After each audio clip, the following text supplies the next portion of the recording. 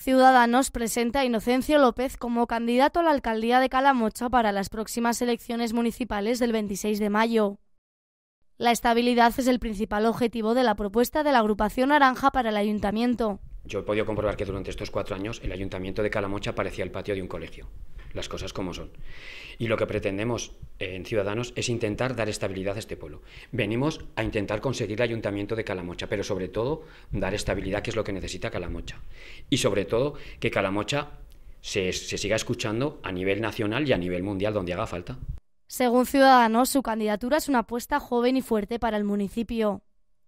Hemos apostado primero por una persona que conoce bien su municipio, que quiere aportar y quiere dar solidez a este ayuntamiento, quiere organizar y quiere trabajar con un equipo humano pues por, por, Calamocha. Es una persona que tiene experiencia, que tiene ganas, que sabe, que sabe cómo funciona un ayuntamiento y que puede aportar mucho a, la localidad de Calamocha. Creo que, creo que es la mejor opción, creo que es el mejor candidato, eh, no es porque venga en ciudad, sino porque cualquier persona que conoce Calamocha y lo conoce a él va a apostar fuerte.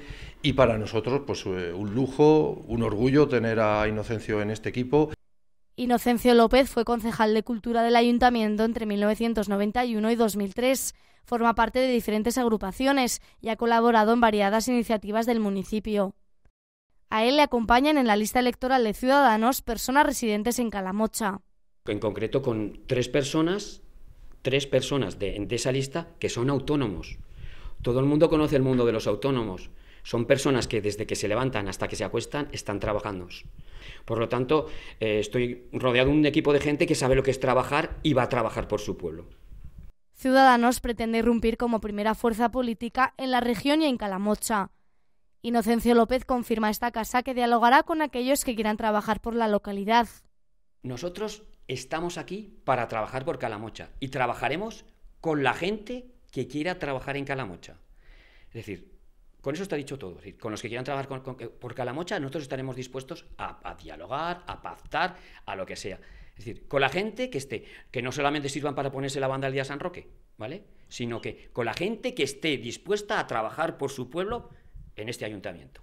Según el cabeza de lista de la candidatura municipal, las propuestas de la agrupación son innovadoras y hacen hincapié en la necesidad del trabajo orientado hacia el sector de la ganadería y la agricultura.